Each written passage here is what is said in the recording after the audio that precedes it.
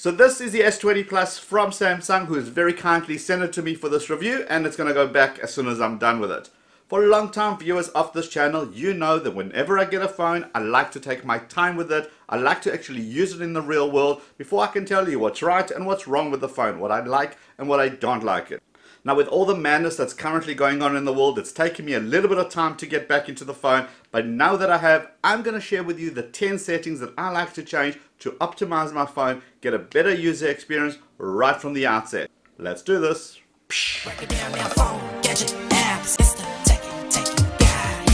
Hey, welcome to another episode of Talking Tech with the Techie Guy. My name is Liron Segev, where I make tech simple. If you're into phones, gadget, apps, tips and tricks and how to, hit that subscribe button and let's get on to today's show. Right, I live in my notification panel. I mean, I see all the notifications, I make all my setting changes, but I don't want to have to pull all the way down from the top of the screen. What I can do is I can select the home screen settings and then I can enable swipe down notification panel. Now on such a lovely big screen, anywhere on the screen you simply pull down and your notification panel opens. That's the first thing I start. The next thing I look at is the number of apps that I have. I have a lot of apps. I want to squish as many of them as I can onto one screen. Again, you pinch, home screen settings, then you get something called the app screen grid, and then you can choose small, medium, large, extra large, and obviously the smaller than the icons are, the more that you actually squash in onto one page. So now I simply drag the icons from the second page, drag them to the first, and I have so much space to play with. That makes me happy. The next thing I do is that even on my home screen grid, I want to squish as many as I can into one location, so I simply change the size there as well. Yeah, that one got me super weird and super stumped. You see, when you press the power button, it doesn't switch off your phone, but instead it wakes up Bixby. I mean, like, why? So, press the power button, long hold it, and it will actually show you how to switch off your phone, showing you that it's now in a different location. Now, if you want to, you can stick with it. I don't want to. I want to go back to using the side key as my power off button. So, how do you do that? Pull down, at the top, you see you got the little power button there. Click on that. Now, some people might like it, but I want to remap it. So at the bottom, you have the option to side key and to remap that. Now, if you double press, it can launch the camera. Yep, I still dig that. But underneath that, press and hold, and it's going to be now my power off menu. And that's how it should be. So this being an Android 10 device under display, you're going to find something called the navigation bar.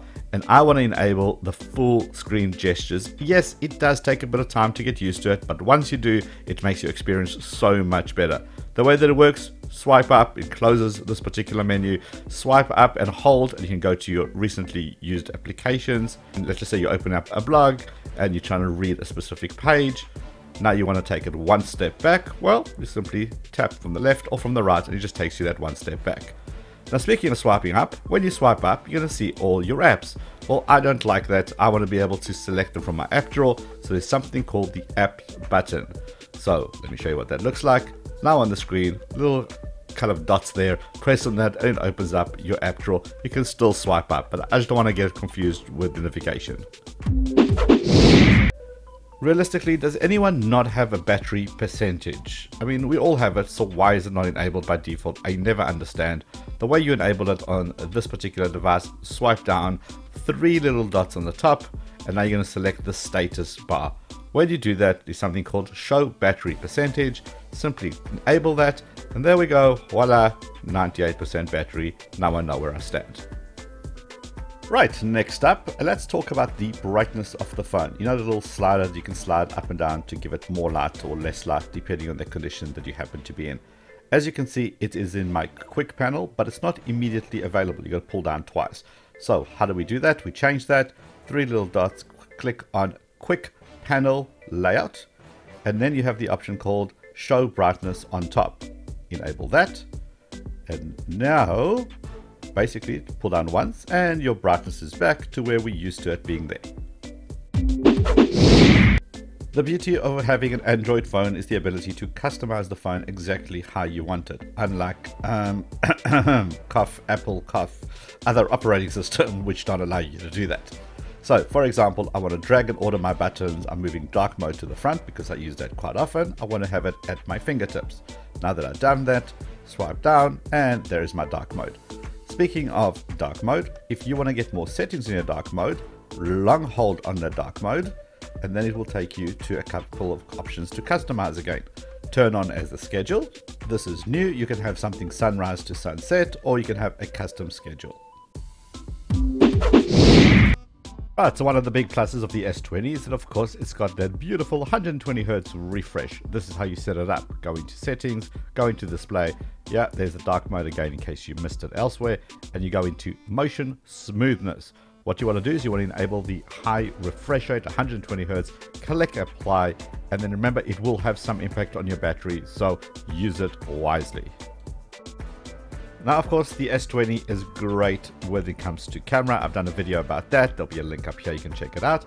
But there's a little bit of customization that I'd like to do. So for example, I use something called the night mode. So what I do is I drag that, bring it down to the basically the toolbar for lack of a better word. And now, whenever I want to, it's right there next to single take.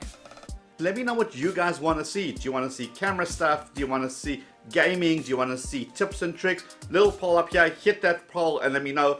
Check out some of these other cool videos down here. Hit the head below to subscribe. If you like this, give the video a thumbs up and I'll see you in one or both of those videos. Can be both. That's fine. I'll see you over there. Let's go.